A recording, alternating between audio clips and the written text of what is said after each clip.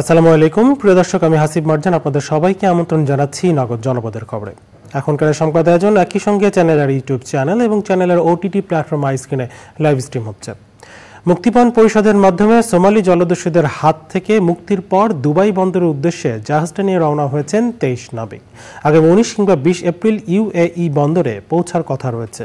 শিগগিরই তাদের দেশে আনা হবে বলে জানিয়েছে কেএসআরএম কর্তৃপক্ষ। চট্টগ্রাম থেকে চৌধুরী ফরিদের পাঠানো তথ্য ভিডিওচিত্রে রিয়াজ ইসলামের রিপোর্ট। জাতীয় ও আন্তর্জাতিকভাবে চাপ প্রয়োগ এবং ডলারের মুক্তিপণ পরিশোধের পর সোমালি জলদস্যুদের কাছ থেকে জাহাজ উদ্ধারের বিষয়ে সংবাদ সম্মেলন করেন জাহাজটির মালিক কে এস আর এম কর্তৃপক্ষ এমভি আবদুল্লাহ জাহাজ অপহরণ এবং একত্রিশ দিনের উদ্ধার কার্যক্রমের বিস্তারিত তুলে ধরেন উপব্যবস্থাপনা পরিচালক শারিয়ার জাহান রাহাত। ওরা এক্স্যাক্টলি প্রফেশনালি এই জিনিসটাকে করে, তাদের সাথে রেগুলার যোগাযোগ করে গত এই দর কষাকষি ব্যাক অ্যান্ড ফোর্থ করে ওরা একটা অবস্থানে নিয়ে এসছে। এবং বাদ বাকি যত ফর্মালিটি সব তারাই করেছে। আসলে আমাদের আমাদের মূল কাজ ছিল হচ্ছে কমিউনিকেশন আমাদের লোকজন ঠিক আছে কিনা, এটা দেখা, তাদের খাদ্য, তাদের পানি ঠিক ছিল কিনা, এইসব বিষয়গুলো আমরা জাস্ট তদারকি করেছি। বাদ বাকি জিনিসগুলো কিন্তু আসলে ওই প্রফেশনাল বডিসগুলোই করেছে। আমরা পাইরেসি এনকারেজ করতে চাই না। আল্লাহ রহমত ছিল। আমরা আজকে নববর্ষের দিন জাস্ট ঈদ শেষ হলো, আমরা একটা ঈদের উপহারস্বরূপ এই জাহাজটি ফেরত পেলাম। এই ধরনের একটি অনুভূতি হচ্ছে। নাবিক ও জাহাজ উদ্ধারে ডলার লেনদেন এবং জলদস্যুদের সাথে যোগাযোগ ও চুক্তি সহ সব কাজ করেছেন কেএসআরএম গ্রুপের প্রধান নির্বাহী মেহেরুল করিম।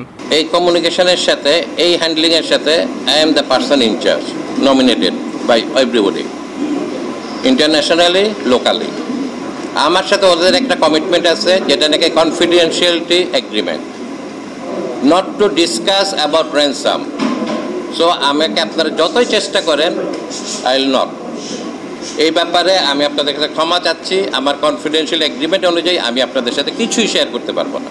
এভরিথিং লিগ্যাল ওয়েতে করা হয়েছে। মুক্তির পর দুবাই বন্দরের উদ্দেশ্যে জাহাজটি নিয়ে রওনা হয়েছেন তেইশ নাবিক। আগামী উনিশ কিংবা বিশ এপ্রিল ইউএই বন্দরে তাদের পৌঁছানোর কথা রয়েছে।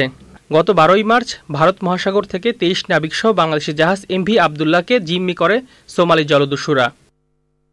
Riaz Islam, channel I. শোভাযাত্রা, সংগীত, নৃত্যসহ নানা আয়োজনে সারা দেশে বাংলা নববর্ষ চোদ্দশো একত্রিশ উদযাপন হচ্ছে। প্রতিনিধি পাঠানো তথ্য ভিডিওচিত্র নিয়ে রিপোর্ট করছেন সুহিতা মাহমুদ।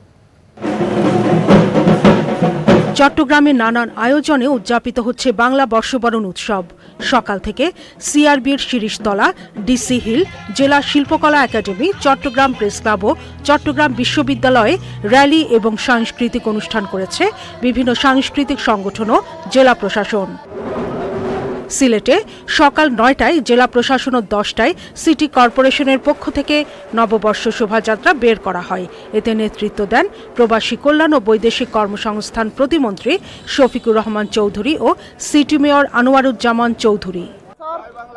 খুলনা জেলা প্রশাসনের উদ্যোগে রেল স্টেশন থেকে র্যালি বের হয়ে নগরীর গুরুত্বপূর্ণ সড়ক প্রদক্ষিণ করে জেলা শিল্পকলায় শেষ হয়। সেখানে সাংস্কৃতিক অনুষ্ঠানে প্রধান অতিথি ছিলেন সিটি মেয়র তালুকদার আব্দুল খালেক। ময়মনসিংহে মঙ্গল শোভাযাত্রা সহ নানা অনুষ্ঠানমালার আয়োজন করে জেলা প্রশাসন ও সম্মিলিত সাংস্কৃতিক জোট। শোভাযাত্রার উদ্বোধন করেন এমপি মহিতুর রহমান শান্ত। রংপুরে বিভাগীয় কমিশনার জাকির হোসেনের উদ্বোধনে মঙ্গল শোভাযাত্রায় অংশ নেন বিভিন্ন সামাজিক ও সাংস্কৃতিক সংগঠনের সদস্যরা। এছাড়াও জেলা স্কুল বটতলায় ও পাবলিক লাইব্রেরি মাঠে সম্মিলিত সাংস্কৃতিক জোট আলাদা কর্মসূচি পালন করেছে। আমরা তো তিমির বিনাশী। এই স্লোগান নিয়ে কুমিল্লায় ভিক্টোরিয়া সরকারি কলেজ মাঠ থেকে রং বেরঙের সাজে শোভাযাত্রায় অংশ নেয় বিভিন্ন স্কুল, কলেজ ও সংগঠনের কর্মীরা।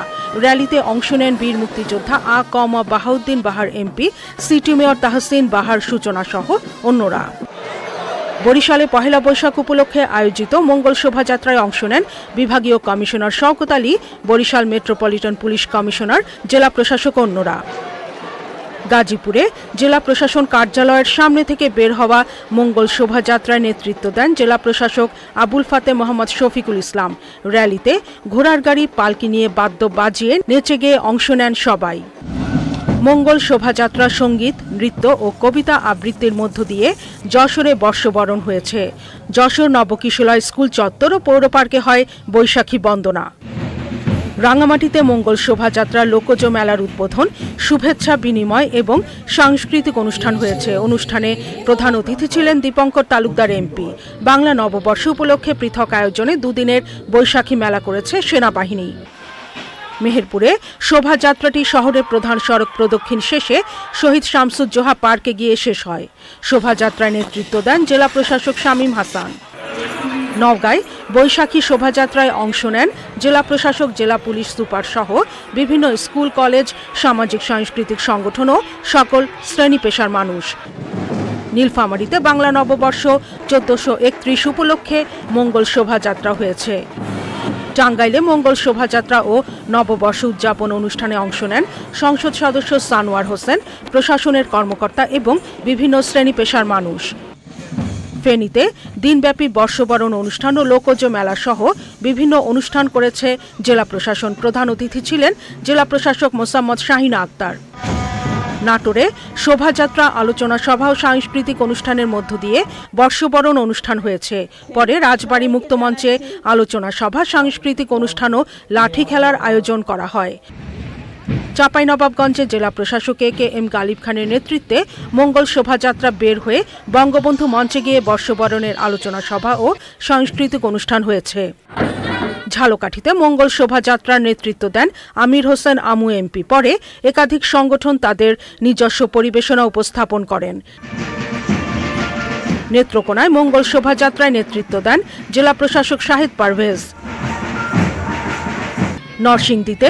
মুসলিউদ্দিন ভুইয়া স্টেডিয়াম থেকে প্রশাসনের কর্মকর্তা, কর্মচারী, রাজনীতিবিদ সংস্কৃতিকর্মী শিক্ষক শিক্ষার্থী সহ বিভিন্ন শ্রেণি পেশার মানুষের অংশগ্রহণে মঙ্গল শোভাযাত্রা বের হয়। সুদীপ্তা মাহমুদ চ্যানেল আই দর্শক, এই ছিল নগদ জনপদের খবরে আজকের আয়োজন। পরবর্তী কৃষি সংবাদে আমন্ত্রণ জানিয়ে এখানেই শেষ করছি। ধন্যবাদ সবাইকে।